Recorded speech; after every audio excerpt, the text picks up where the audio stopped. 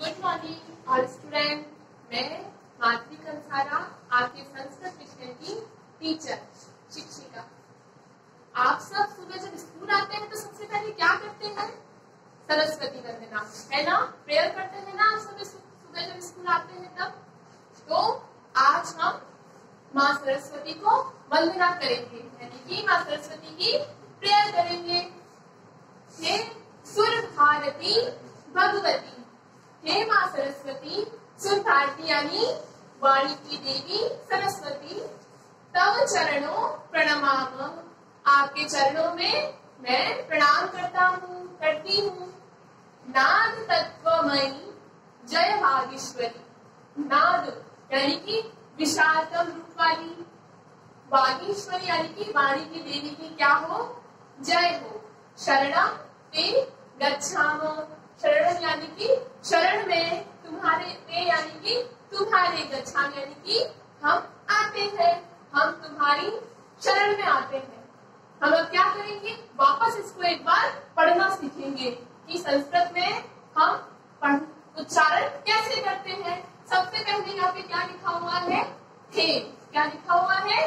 हे सुर भारती। सुर भारती भगवती।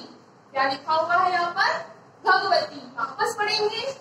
हे सुर भारती, भगवती, हे वाणी की देवी माँ सरस्वती। तब यहाँ पे क्या लिखा हुआ है?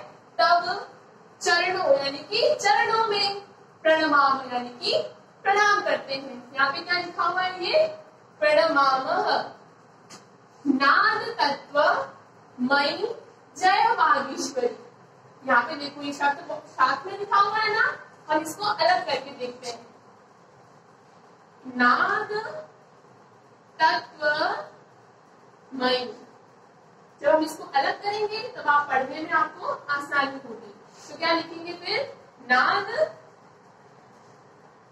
नाद, और यहाँ पर लिखेंगे तत्व। तत्व और फिर तीन शब्दों को मिलकर के साथ जब इसको शामिल किया तो ये शब्द बन गया, नाद तत्व मणि। जय बागेश्वरी, यानी कि जय हो बागेश्वरी, यानी कि वाणी की देवी। क्या लिखा हुआ यहाँ पे? बागेश्वरी शरणम श्री गच्छाम। शरणम यानी कि शरण में। तुम्हारे यानी कि ते यानी कि तुम्हारे गच्छाम, यानी आते हैं। शरणम ते गच्छामो एक बार वापस पढ़े अपन इसको, ताकि आप इसको वापस आराम से पढ़ सके। हे सुर भारती भगवती, तव चरणों प्रणमाम। नाद तत्वमयी जय बागेश्वरी। शरणम ते गच्छाम। आपको समझ में आया? हमने आज क्या पढ़ा? हमने आज क्या पढ़ा? माँ सरस्वती की वंदना। सरस्वती को प्रार्थना की अब आप सब क्या करोगे पता है आप सब इसको अपनी नोटबुक में